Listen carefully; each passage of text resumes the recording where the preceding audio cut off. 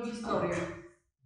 E, Stworzyliśmy na tych spotkaniach mobilne muzeum wsi, e, bazując na e, historiach, które opowiadali mieszkańcy Konrad. Pierwszą taką ciekawą historią była historia opowiedziana przez panią Mariannę Samsel, że mieszkał tu e, pewien Mazur o imieniu Herbert Klosek, e, który grywał na harmonice, e, wprowadzając w ten sposób deszcz. Druga historia opowiedziana była przez panią Cecylię Niedźwiecką, Niedźwiecką o swoim ojcu, który w czasie wojny, uciekając przed Niemcami, schował się e, w kwiatach paproci, dzięki temu uniknął śmierci. Pewien mieszkaniec, też uciekając przed Rosjanami, gdy go zatrzymali, udał, że nie potrafi mówić e, i narysował gwiazdę rosyjską e, na piachu i dzięki temu myśleli, że on jest Rosjaninem i go nie rozstrzelali.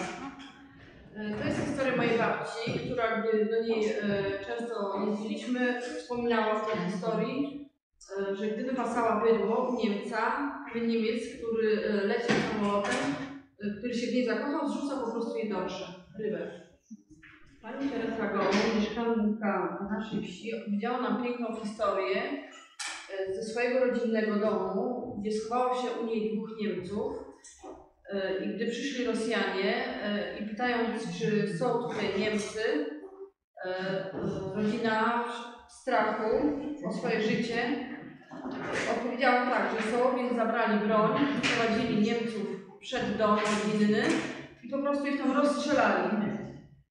E, Później tych Niemców pochowano pod mostem w ich, rodzinnym, w ich rodzinnej miejscowości.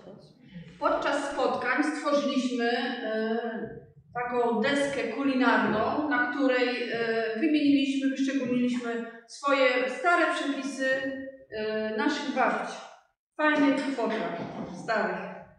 Stworzyliśmy również na tych spotkaniach taki album, w którym umieściliśmy zdjęcia, stare zdjęcia mieszkańców i ich rodzin. Najfajniejszą rzeczą, którą zrobiliśmy na tym spotkaniu, jest taki transfer na dachówce, czyli stara tablica Konrady, która została wyorana na polu przez jednego mieszkańca.